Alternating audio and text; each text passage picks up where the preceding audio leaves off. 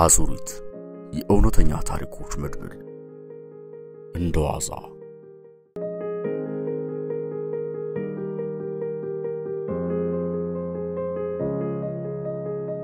ጻፊ አስበው ለገሰ ከአምሳ ስምንት ወራት በኋላ ቤተሰቤን ተቀላቀልኩ። ቤታችን በብዙ ተለውጧል። የቆርቆሮ አጥር ተነስቶ በግንብ ተተክቷል። ቤቱ ታድሶ ውድ በሆኑ ዕቃዎች ተደራጅቷል። ሰናይት እንዳይቷ መምህሯን ተከትላ አሜሪካ ገብታለች። እንቁያ ገብታ ሁለት ወልዳለች። እችን ክፍል ሲጋራኝ የነበረው ታላቅ ወንድሜ የራሱን ጎጆ ቀልሷል። በተዘጋጀልኝ አልጋ ላይ ተንጋልዬ አይኖችን ከነጭ ኮርኒስ ላይ ተከዬ ወደ ራሴ ወደ ውስጥ የተመለከትኩ እንዲህ መሆን ከጀመርኩ ዓመታት የተቆጠሩ ቢሆንም ዛሬም እንዳዲስ የአባቴን ፈለግ ለመከተል እፈልግ ነበር። በሰፈራችን ታዋቂና የተከበረ ሰው ነው። በሕግ የማስትሬት ዲግሪ ያለው ሲሆን በአንድ የሚኒስቴር መስሪያ ቤት ውስጥ የሚኒስትሩ ረዳት ነው።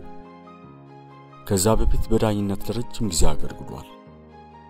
ለአባቴ ያለኝ ፍቅር የተለየ ነው። የቤት መግቢያ ሰዓቱን በጉጉት ነው የምጠብቀው። እንደ አጋጣሚ ሆኖ ከስንት አንድ ቀን ካመሼ በረንዳ ላይ ተኮርኩለን እንጠብቀዋለን።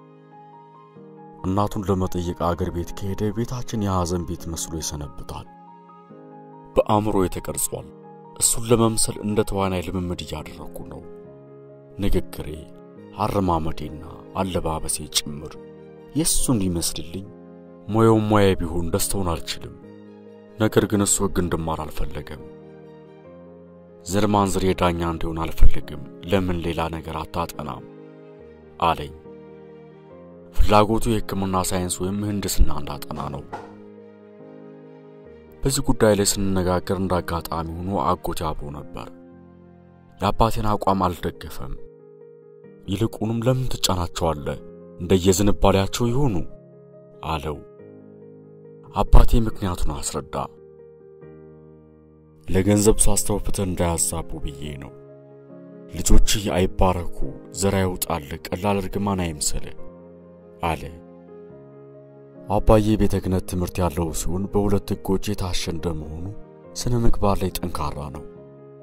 ግድፈት ካየ ቅጣቱ ያድርስ ነው። የትኛውም ወላጅ ልጁን ቀጥቶ ማሳደጉ የተለመደ ነው። ልጁ ዱርዬ ወይም ጅላጅል እንዲሆንበት የሚፈቅድ አይኖርም። እሱ ግን ያበዛዋል። አንድ ጊዜ መንገድ ላይ አራት ብር ወርቆ ማግኘቴን ሰምቶብኝ ያገኘሁበትን ስፍራ እንዳሳየው ጠየቀኝ። እየመራው ወስጄ ቦታው ላይ ስደርስ እዚህ ጋ ነው አልኩ። በልጣል አለኝ። ሌላ ጊዜ ከሰፈር ልጆች ጋር ኳስ ስንጫወት ቆይተን እሰው ግቢ ገብተን ኮክ ሰረቅ። አባቴ ስሞታ ሰምቶ ኑሮ ዘንቢል ሙሉ ኮክ ገዝቶ መጣ። ምሳ ሰዓት ላይ ነበር። ራሱ ኮኮቹን ካጠበ በኋላ በልብላ ይውጣልህ አለኝ። በልቼ የምጠግብ አልመሰለኝም። በመጀመሪያ አልመረጥኩም። እጅ የገባውን እያነሳው እንዳሳማ እየተስገበገቡ ክሽምሽምሽም አድጌ በላው። እኔ ያላመጥኩትን ስውጥ ወንድም እህቶቼ መራቃቸውን ለእኛስ ሲሉት ለእናንተ ሌላ ጊዜ እገዛላችኋለሁ፣ ይሄ የብሩክ ነው አላቸው። አንድ ዘንቢል ሙሉ ኮክ ለእኔ ብቻ ለነገር መሆኑ ገባኝ። አለንጋ ይዟል። ብዙ በላሁ። ወደ ተጨማሪ እንዳልክበት ተከላከለኝ።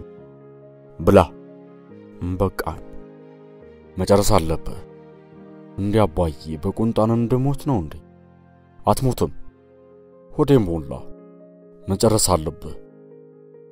ሊያስመልሰኝ እየተናነቀኝ ነው። መብላት አቆምኩ። አባቴ አሁን ስራውን ጀመረ። በያዘው አለንጋ ጀርባ ጀርባዬን እግር እግሬን መገጠብ። ህመሙ ሲጠናብኝ እበላለሁ። ኮኩ ቶሎ እንዲያልቅልኝ ገመጥ እያደረግኩ ወደ መሬት ይመጣል። የጣልኩትን አንስቶ እያየ አላጠራውም፣ ሙልጭ አድርገህ ብላ። ሌላ ቅጣት። የአን ዕለት ያየሁት ፈተና። ሌላ ጊዜ ድብ ድብ ቁማር ስጫወት ደረሰብኝ። ለጊዜው አልተቆጣኝም፣ እንዳላየ ሆኖ እና እስኪ አንድ ቦታ ደርሰን እንምጣ አለኝ። ዘንቢል ሙሉ ብርቱካንና ሙዝ ገዝተን ተመለስን። ቁሜ እያየው ለጎረቤት ልጆች አከፋፈለ። ለኔስ መጀመሪያ እነሱ ሙራቄን እየዋጥኩ ጠበቅኩ። ነገር ግን አልሰጠኝም። ለምን አይሰጠኝም? አልኩ። ለቁማርተኛ አይገባም። የቅጣቱ አይነት ተከታታይነት የለውም፣ ይለዋወጣል። አንዳንዴ የምወደውን ነገር ይከለክለኛል፣ ሌላ ጊዜ ደግሞ ዱላ የሚጠላ ሸክላ ብቻ ነው በሚል ፈሊጥ ዓይንና ጥርሴን ስስ ብልቶችን እየተጠነቀቀ ባገኘው ነገር ይቀጠቅጠኛል። ሚጥሚጣ ቃሪያ ዓይኔ ውስጥ ፈትፍቷል። ሊያቃጥለኝ ቤንዚን አርከፍክፎብኛል። ደግነቱ እናቴ ከቤትና ላይ ተርደብቃበት ከእሷ ስጭቃጭቅ እንግዳ መጥቶ የኔ ነገር ተረሳ። መቼ ብቻ ራቅ ካለ ቦታ ሊጥለኝ መኪና እየነዳ ከከተማ ውጭ ይዞኝ የወጣበት ጊዜም አለ። አቤት ያኔ ያፈሰስኩት እምባ! አባዬ የዛሬም ብቻ ሁለተኛ የለምደኝም። እግሩ ላይ ወድቄ ከሰፈር ልጆች ጋር እንድንገጥም ፍቃደኛ አይደለም። ገና ለገና ከአጉል ሰው ጋር ገጥሞ ይበላሻሉ በሚል ምክንያት ይጫነናል። የእህቶችማ አይነገርም። ባልታሰበ ሰዓት የሚማሩበት ትምህርት ቤት ድረስ እየሄደ የስም መጥሪያ መዝገብ ይመለከታል። ከአባቴ ክትትልና ቁጥጥር እንዲሁም ከተቀጠው ቅጣት አንጻር የሥነ ምግባር መኮንን የቤተ ክርስቲያን አገልጋይ ወይም የግብረ ገብ መምህር መሆን ነበረብኝ። እንደ አባቴ ጥረት ቤተሰቡ በሙሉ ምሁር መሆን አለበት። ከትምህርት ዓለም ከተለየ ረጅም ጊዜ የሆነው ቢሆንም እኛን ለማስጠናት ስል ሁሌም እንዳጠና ነው። ደብተሮቻችን አገላብጦ እያየ የእጅ ጽሑፋችን እንድናስተካክል ይረዳናል። ከአስራ ሁለት ሰዓት በኋላ ውጭ የሚገኝ ልጅ አይኖርም። ጥናት ክፍል መግባት አለብን። የጠረጴዛ ሰዓቱን ሌሊት አስር ሰዓት ላይ እንዲደውል አዘጋጅቶታል። በዚያ ሰዓት ተነስቶ ከመስሪያ ቤት ያመጣቸውን የሕግ ጉዳዮች የያዙ መዝገቦች ይመለከታል። እኛም ወደ ጥናት። ከሰባተኛው በታች ባሉት ክፍሎች ደካማ ተማሪ ነበርኩ። አባዬ ይህንን ታሪክ ለወጠው። አንድ ቀን ምሽት ለስሜቴ ሳይጠነቀቅ የወንድሙን ልጅ እስከ ዛሬ ግንባሩን የሳምኩት ልጅ የለኝም፣ አንተ የመጀመሪያ ነህ አለው። ከአጠቃላይ አስራ አንደኛ ክፍል አንደኛ ወጥቶ ሰርቲፊኬቱን የምስክር ወረቀቱንና የተሸለማቸውን ሁለት መጽሐፍት እያሳየው ነበር። አያያዘና ማን ያስተምረኛል ብለህ አትዝጋ፣ አለውልህ። አንድ ባቄላ ለሁለት ቁርጥ ምንም ቢሆን አስተምርሃለሁ አለው። አባዬ ሆን ብሎ ላይሆን ይችላል፣ ነገር ግን እኔ ላይ የፈጠረው ስሜት ቀላል አይደለም። ባጎቴ ልጅ ቀን ነው። ግንባሩን የሳምኩት ልጅ የለኝም፣ አንተ የመጀመሪያ ነህ ተባለለት። ከዚህን ጊዜ ጀምሮ በአባቴ ፊት ሞገስ ለማግኘት ይጥር ጀመር። ለትምህርቴ ትኩረት ሰጠው። ባጎቴ ልጅ አስረጅነት ለመሻሻል ጊዜ አልወሰደብኝም። ከአንደኛ እስከ አራተኛ ያሉትን ደረጃዎች መያዝ ቻልኩም። አባቴ ተደሰተም። ይበልጥ እኔን ለማትጋት ከትምህርት ውጤት ጋር እያያያዝም ስጦታዎችን ይሰጠኛል። አንዳንድ የመዝናኛ ቦታዎችም ይወስደኛል። ከኔ የመዝናኛ ስፍራዎች ጊዮን ሆቴል አንዱ ነው። አባዬ ክብደቱን ለመቆጣጠር ዋና ያዘወትራል። በጋ ሲሆን ዘወትር ወደ አስከትሎኝ ይሄዳል። ዋና ለመልመድ ብዙ ጊዜ አልወሰደብኝም። በአጭር ጊዜ ውስጥ በአባዬ አሰልጣኝነት ከልጆቹ መዋኛ ወጥቼ የአዋቂዎቹን ተቀላቀልኩ። ጠባቂው መጀመሪያ ከልክሎኝ ነበር። ኋላ ግን ከአባቴ ጋር መሆኔንና ችሎታዬንም አይቶ ፈቀደልኝ። ከአባዬ ጎን ሆኖ መዋኘቱ ልዩ እርካታ ይሰጠኛል። አባዬ ፈጣን ዋናተኛ አይደለም። አጭር ርቀት ላይ በእኔ ይቀድማል፣ ነገር ግን ዙር ላይ እኔን ቀርቶ ሌሎቹንም ያሸንፋል። ከቤተሰባችን ጊዮን ለመዋኘት የተፈቀደው ለእኔ ብቻ ነው። ጎበዝ ተማሪ ስለሆንክ ነው ይህንን ዕድል ያገኘው። ከሰኞ እስከ ቅዳሜ ትምህርት ላይ ተደፍተ ስለምትሰነብት ትንሽ relax እንድታደርግ ብዬ ነው አለኝ። ዋኝተን ስናበቃ አግዳሚ ወንበር ላይ ፎጣዎቻችን አንጥፈን ፀሐይ ላይ እንሳጣለን። ዋኝተን ስናበቃ አግዳሚ ወንበር ላይ ፎጣዎቻችን አንጥፈን ፀሐይ ላይ እንሰጣለን። ፀሐይ ስትበርታብን ጎጆዎች ውስጥ ገብተን እንጠልላለን። የሕይወቴን አቅጣጫ የሚቀይር አንድ ነገር ጎጆዎች ውስጥ ተከሰተ።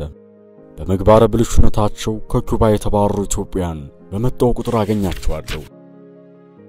የሆነ ነገር ያጭሳሉ። ውድ ሲጋራ እንደሆነ ገመትኩ። እያደር ሽታውን ተላመድኩ። አንድ ቀን ታዲያ ዋና ከመግባቴ በፊት እነዚህ ተመላሾች ከሚያዘወትሩበት ጥልቅ አልኩ። እያጤሱ ነበር። ከአንገታቸው የኋልዮች ተንጋለው ወደ ጣሪያው ጢሱን ይልኩታል።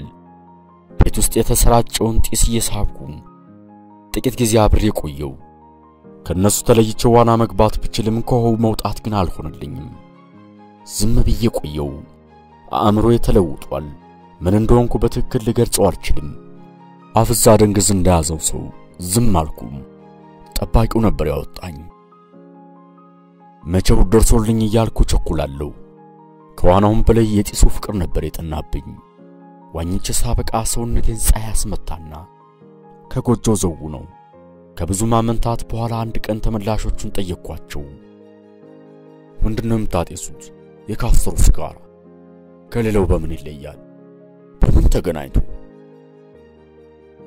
እንዳስጨሱኝ ብጠይቃቸው ለልጅ አይመችም አሉኝ። አንደኛው በእርግጥ ሊሰጠኝ አመንትቶ ነበር። ነገር ግን ከጓዶቹ አንዱ ሀርድ ታስቦጭብናለ ከፋዘሩ ጋር ነው ያለው አለው። የዛሬው ትረካችን በዚህ ተጠናቋል። ቀሪውን አስደምጣችኋለሁ። ሰላም